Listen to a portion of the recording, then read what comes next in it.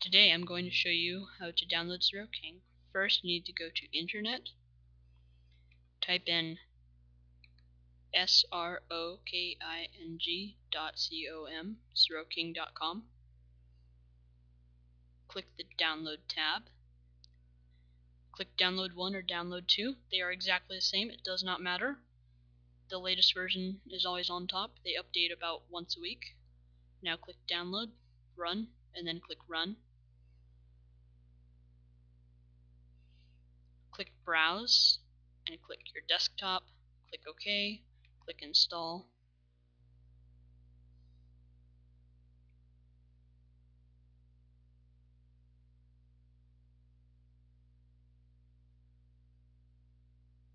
Now you can exit your internet. Here's your Sroking folder, double click it, and right click the orange bird icon that says Launcher, and click Send to Desktop exit that. Here's Sroking. For Vista users, right click it and click Run as Administrator. Click Allow. Um, and then if you're not a Vista user, you can double click it. And if you're not a Vista user and it won't come up, then right click it and click Run as Administrator and click Allow. So now click register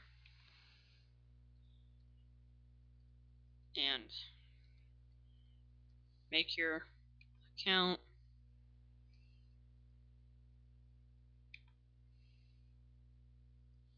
This is a fake account, of course. Click submit, click close, and now log in, and then